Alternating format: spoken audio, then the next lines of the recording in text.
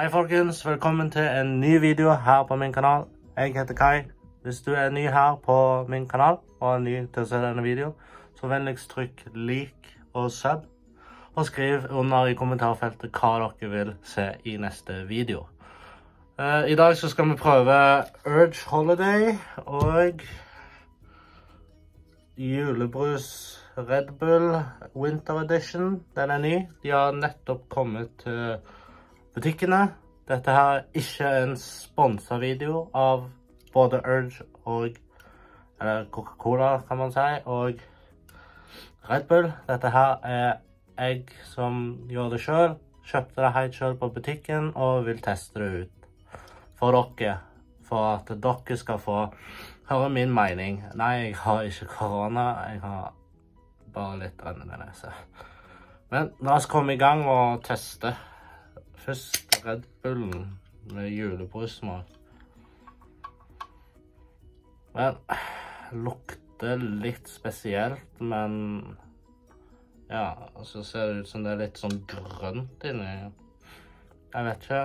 Skål, folkens.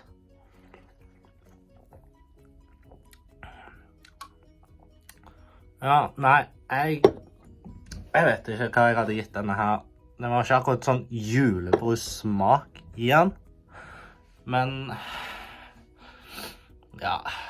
Jeg sier at jeg gir han en uh, terningkast uh, tre. For å si det mildt. Men uh, ja. Vi får håpe at han er litt bedre i mer hvis du drikker mer av den. Så vi kan ta en til for å se. Ja, litt bedre. Litt rar ettersmak. Uh, litt sånn surt eple. Men uh, ja. Så det er denne her Urge Holiday flavor. Uh, fruit, men uten sukker. ja.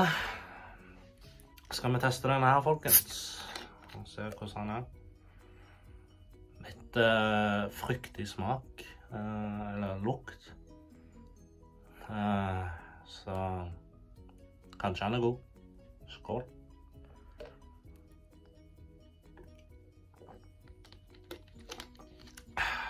Ja.